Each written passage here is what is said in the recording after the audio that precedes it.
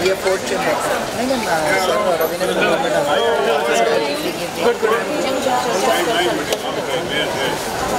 फ़िलहाल आप लोगों को बता दें, जैसे कि आप सब जानते हैं, इन लगातार इन दोनों ईशा देओल को कई सारे इवेंट में स्पॉट किया जाता है। उनका इन दोनों कई सारे वीडियो तस्वीर सोशल मीडिया पर काफ़ी वायरल होता है, जो लोगों के बीच काफ़ी ज़्यादा पसंद किया जाता आप लोग भी जानते हैं कि आज ईशा देओल किसी पहचान के मोहताज ने आज ईशा देओल से जुड़ी कई सारी वीडियो तस्वीरें अक्सर सोशल मीडिया पर देखने को मिलती है। उनकी एक एक जगह देखना फैंस को काफ़ी ज़्यादा पसंद आता फ़िलहाल आप लोगों को बता हाल ही में उनको एक शानदार अंदाज में स्पॉट किया गया, जहाँ पर बेहद खूबसूरत अंदाज में नज़र आई थी। आप लोग भी देख सकते हैं, जहाँ पर उनको हमेशा की तरह आज भी बेहद खूबसूरत अंदाज में देखा गया। आप लोग बता जब से ईशा देवल का वीडियो सामने आया, तब से लोग काफ़ी ज़्यादा पसंद करें। आप लोग बता हाल ही में देखा गया था, जहाँ पर ईशा देवल को इवेंट में स्पॉट किया गया, जहाँ पर वो जैकी श्रॉफ के साथ नज़र आई।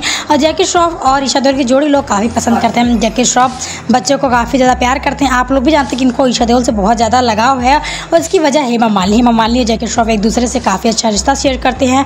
फ़िलहाल आप लोग भी देख सकते हैं जहाँ पर एक बार फिर से जैकी श्रॉफ और ईशा देओल एक साथ स्पॉट की गई फ़िलहाल का वीडियो तस्वीर सोशल मीडिया पर जमकर वायरल है, जिसे फैंस काफ़ी ज़्यादा पसंद वैसे आए थे सोशल मीडिया पर ईशा देवल को एक्टिव देखा है। ईशा देवल इन दोनों अपने तलाक को लेकर भी काफ़ी चर्चा का विषय बनी है। फ़िलहाल इस वीडियो को काफ़ी शानदार अंदाज में स्पॉट किया गया, जो कि आप लोग भी देख सकते हैं, जहाँ पर ईशा देवल को बेहद खूबसूरत अंदाज में देखा गया। आप लोग भी देखिए ईशा देओल का